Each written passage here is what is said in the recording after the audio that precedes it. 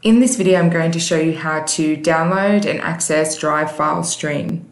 One of the biggest challenges staff and students have mentioned that in wanting to edit or work with Microsoft or PDF documents or Photoshop documents, uh, we have to download and then upload, then delete the original. Well, we don't have to do that anymore. Using Drive File Stream, you can access your Google Drive via your File Explorer. So all I did there, this is what we're going to get to.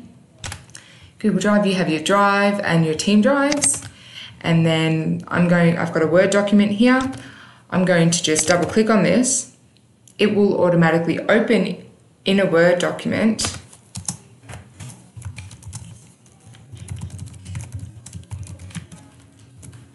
I can make a change, Control S just to save over the original, close the document, and you can see that it's uploading because it's going to back up to the cloud still. When I double click on it again, you can see that the changes have been saved. I haven't had to duplicate files. And this is where we really want to get to. We really want to utilize Drive File Stream. To get Drive File Stream, many staff, you will already have it. So all you have to do is in the search bar, you will just need to type Drive and you're looking for Drive File Stream.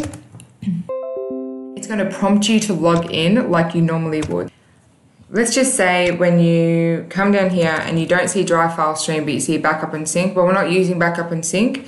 So we're going to go to our Google Drive and then in the settings area, in the cogwheel up the top, We've got the option to get Drive File Stream for Windows. If you have a Mac, it'll say for Mac. Just going to click on that.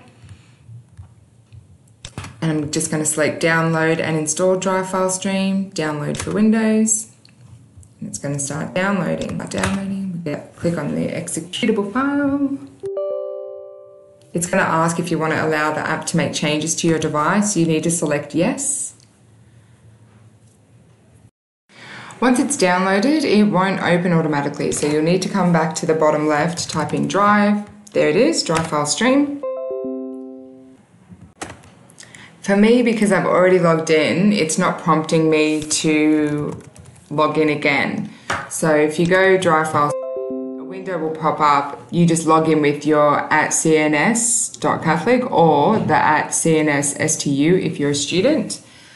I personally like to have my Drive folder quickly accessible. So to do that, once you've logged in uh, and you've gone next and the screen will disappear, you'll be able to access your Google Drive. It'll be in your File Explorer window.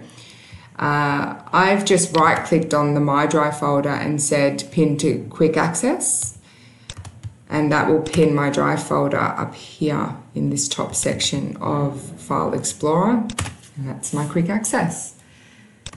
Pretty straightforward but if you run into any issues uh, don't hesitate to come find me. Now remember staff you will already have drive file stream so you will just need to go in the bottom left type drive and click in drive file stream and log in as you normally would.